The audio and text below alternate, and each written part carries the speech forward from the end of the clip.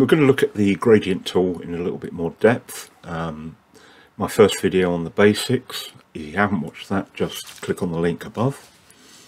Now what we're going to do is look at how we can use other photos to influence the colour um, and maybe match them match or help them blend in. So let's just resize. I'm going to move that image over there just pull this one up. Okay, we're going to try and add some colours from the photo on the left and influence the photo on the right. So we'll go down and pick the gradient map. And as usual, it uh, picks up the red, green, blue. So what we want to do is look at the dark colours first. So if I just click on the left hand uh, button, pick the colour get the dropper and we'll just drop it on one of the dark reds here. when I've done that, it changes the swatch. Just click on that and it will change the colour here. Now let's look at uh, the midtones. Click on the colour again. Let's say this darker, darker flesh colour here. Again, click on the uh, little colour swatch and then finally for the lighter tones we're going to just pick up the picture again. I'm going to pick up on, on a very light area of the head there and just click in there and there we go. So we've got three colours and we can then change the blend mode to say soft light and now we're using those colours from the right hand image, uh, left hand image to influence the right hand image and I can just reduce the um, opacity until it becomes uh, more likable. There we go. But there is a, a better way of doing this.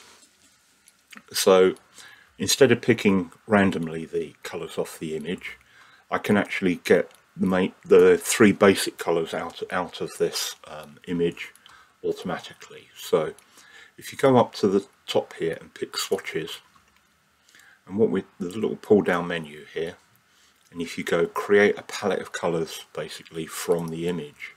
So I just click on that select the image I want to get the colors from and you'll see it defaults to 5 what we're going to do in this case is just reduce that to 3 and just hit preview. And here are our three main colors so I'll create that and you can see just here it's created this uh, little panel. And it's named after the image itself so you can find it later if you need to.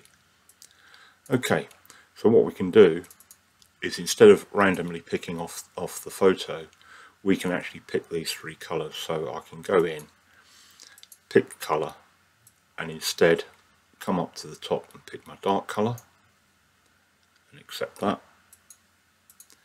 go to the mid, again pick up,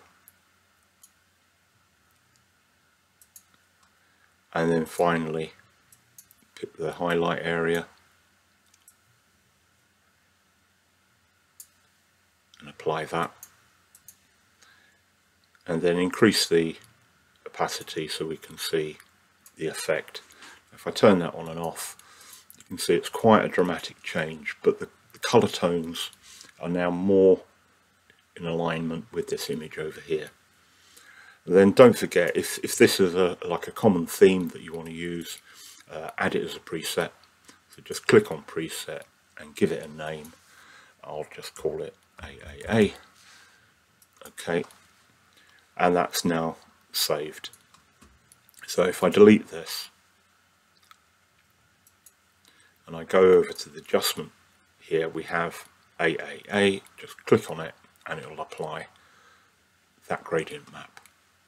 So that's the that's the first usage. So if, if you had a series of photos and you wanted them all to have a, a similar uh, color balance and tone, uh, this is the way you'd, you'd, you'd apply it. Now, let's look at another example.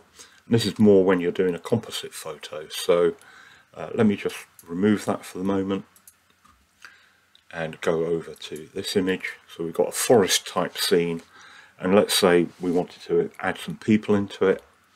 So I've got two examples here, two, two different uh, ladies and we want to add this into this photo here. So if I go to the layers here, I've already cut this out. So I can just go uh, copy, uh, go back to the forest and paste. Let's take this image and just reduce it a little bit. There we go.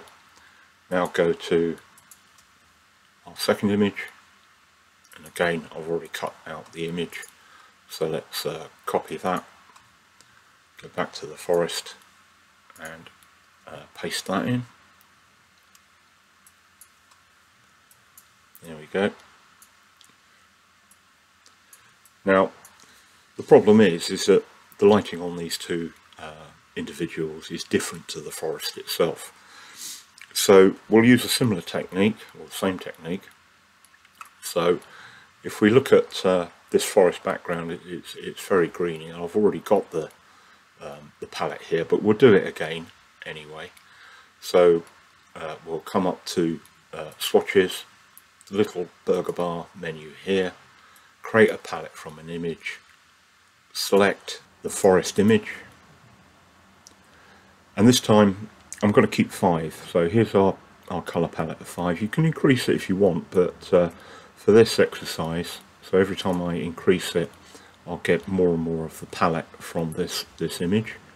We want to actually go to five and preview that and create it. And here we go. And here's our palette. So what we can do is, um, again, come in to the gradient map and what we want to do is move that gradient map to the top and what we can do is if we select the three items and make that a group it's now affecting um, these images but not affecting the background. So what we can do uh, now is go back to the gradient map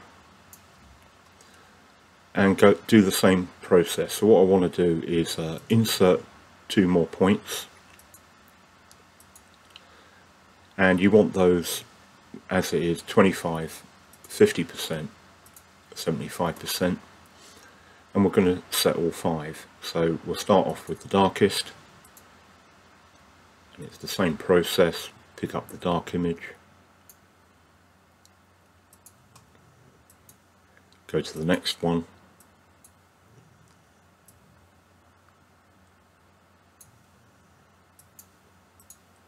Middle one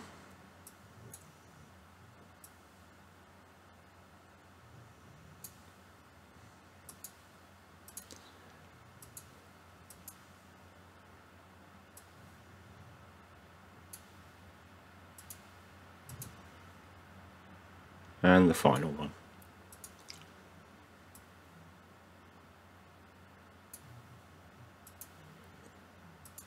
Obviously, um, what we need to do is set the blend mode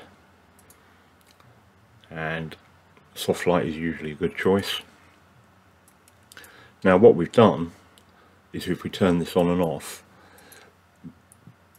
the two people there are, are now more in alignment with the general colour and saturation of the image itself.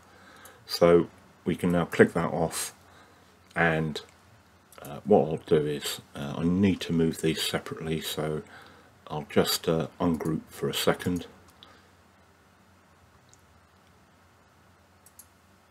Okay and we'll just position these items these two people. Let's, uh, shove her on this rock here make her a little bit smaller again make more appropriate size and uh, you can see the hands going out so we'll, we'll pretend that's behind a tree.